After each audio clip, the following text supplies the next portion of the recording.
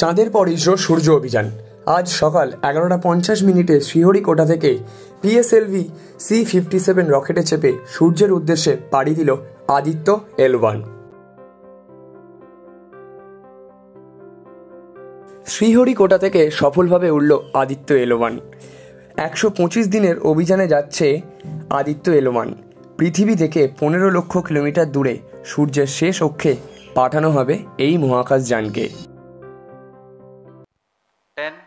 nine, eight, seven, six, five, four, three, two, one, zero.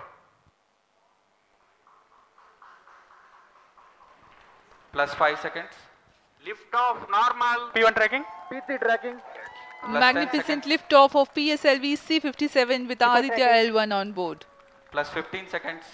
पीएसएलवीसी 57 का सफल उत्थापन और इसके साथ प्रथम भारतीय सौर अंतरिक्ष यान निकल चुका है सूर्य के तेज से विज्ञान को प्रकाश करने. इसके साथ ही एक और कदम है अंतर्ग्रहीय सफ़र में भारत की उपस्थिति सिद्ध करने का। आप देख रहे हैं पीएसएलवीसी 57 प्रथम चरण पूरी तरह सामान्य। The rocket flying forth, following nominal trajectory and developing nominal thrust. The bright fumes against a clear midday sky. one is in main auto. A rocket launch is more than just a sight to behold. The roaring sound and the vibrations that we can feel here. is in main Adding to this, the thrill are just amazing.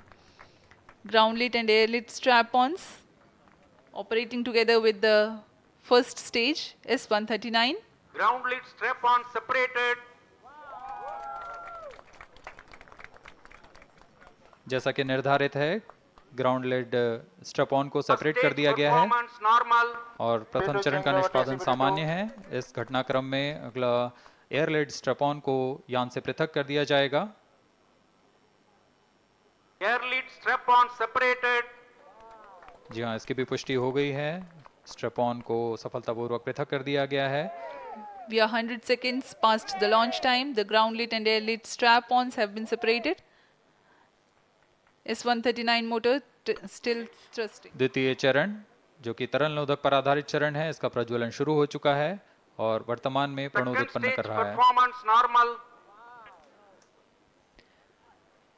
Launch vehicle is at an altitude of 73 kilometres first stage has been separated second stage has begin its operation and the close loop guidance has been initiated According to the announcement by Range Operations Director, PS2 is developing আপনি কি আরিবিয়ান খাবার খেতে পছন্দ করেন? তাহলে আর দেরি কিসের? আজই চলে আসুন আলতামার রেস্টুরেন্টে।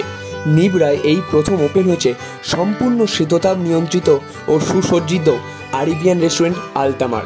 এখানে সুযোগ থাকছে মান্ডিতে বসে লাঞ্চ ও ডিনার করা তার সাথে কনফারেন্সের ব্যবস্থা থাকছে এবং যে কোনো অনুষ্ঠানের জন্য বুকিং করতে পারেন। আমাদের ঠিকানা হচ্ছে নিবড়া, হারুন মার্কেট, ডোমজুর, হাওড়া। আর দেরি কেন? আজই চলে আসুন আল তামার রেস্টুরেন্টে। আর এখন বাড়িতে বসেই পেয়ে যান আল তামার রেস্টুরেন্টের খাবার। হোম ডেলিভারির মাধ্যমে তাড়াতাড়ি যোগাযোগ করুন।